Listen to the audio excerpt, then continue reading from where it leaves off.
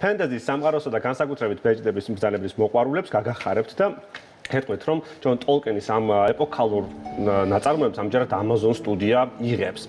ჯერ კიდევ შარშან ზაფხულში გამოქვეყნდა დაგეგმილი სერიალის რუკა ერთგვარი თიზერის სახით და ნაწარმოების ფანები უკვე განიხილავენ სავარაუდო შინაარს ამ რუკაზე გამოსახული ადგილების მიხედვით. Amazon-ს 250 მილიონი ამერიკული დოლარი დაუჯდა ნაწარმოების სატელევიზიო ადაპტაციის უფლებების საკითხად, რომელიც მან 2017 წელს გადაიხადა.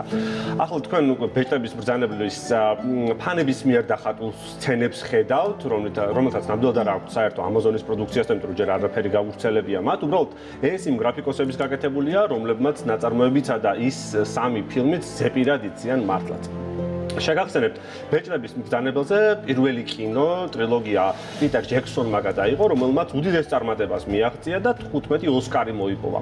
ასევე გეტყვით რომ როცა ამაზონმა დაანონსა სერიალის რუკა და გამოაქვეყნა სიუჟეტი ესე იგი შეეხება მოკლედ რაც ახლა რასაც ახლა აჩვენებენ შეეხება მეორე ეპოქას. ხოლო ჩვენთვის ცნობილი ტრილოგია ანუ ფილმების ტრილოგია შეეხება მესამე ეპოქას. ანუ გამოიწვია პრექველს გადაიღებენ ახლა სინოპსისის მიხედვით ამაზონის სტუდიის ახალ სერიალში წარმოდგენილი იქნება გმირული ლეგენდები მეორე ეპოქის შუამ შუამიწეთის ისტორიაში. ეს ნიშნავს, რომ სერიალში მოვლენები ბეჭდების ბრძანებლისა და ჰობიტის პერიოდზე დაახლოებით 3000 წლით ადრე მომხდარ მოვლენებს მიეძღვნება. სწორედ ამ პერიოდში გამოიჭედება ის მთავარი ბეჭედი, რომლის ირგვლივაც ვითარდება უკვე მოქმედება ფილმებში.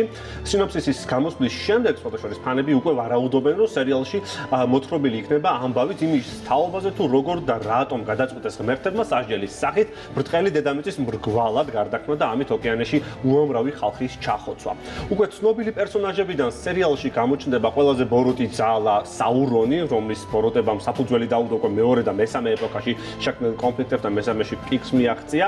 ასევე ეკრანზე დაბრუნდება ლორდი ელრონ ლორდიც იმლადრისის ლორდი ძალიან საინტერესო პერსონაჟია ნახევრად ელფია და ნახევრად ადამიანი და რამდენიმე 1000 წლის არის იგი და მეორე ეპოქაში ასევე ვიქნება გალადრიელიც, როგორც ჩანს, საურონთან გამკლავებისთვის უდიდესი ცოდნა აქვს მას. ეს კი ნიშნავს იმას, რომ ეკრანზე შეიძლება კეით ბლანშეტი კვლავ ვიხილოთ.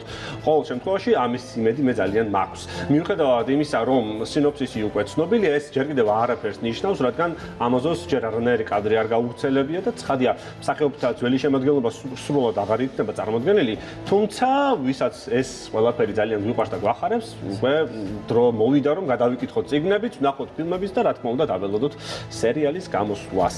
აი